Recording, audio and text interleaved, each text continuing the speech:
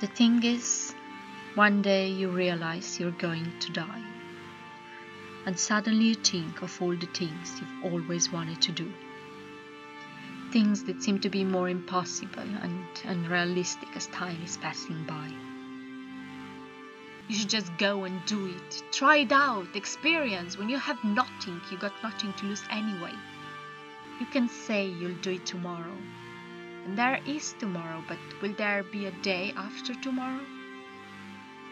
I don't want to dream like I'm gonna live forever. I'm sick and tired of lying, at least to myself. But I want to live like each day is my last. I might give it up tomorrow, but I'll at least do it today. Hi, we're going to theater.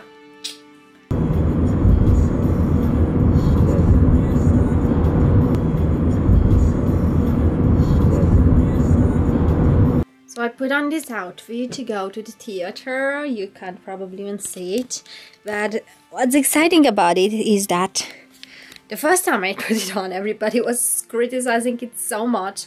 This was supposed to be my dress for my sister's prom. But everybody was like criticizing it so much that at the end I just haven't worn it. Because it's like not the right material or shape for me or whatever. okay, I admit it kind of little don't fit me. But I'm really happy that I could wear this dress because I haven't worn it before.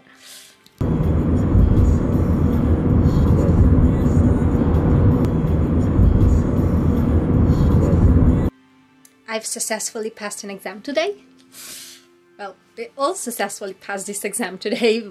I mean all. There were like two of us in a class, so like a private lesson is really cool.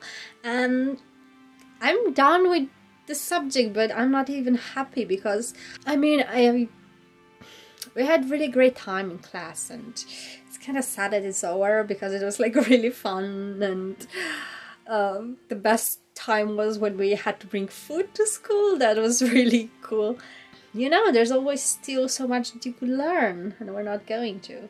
But I'm definitely thankful because it was great. Our professor was really great always had so many stories in store just in case. It was always fun being there. So, well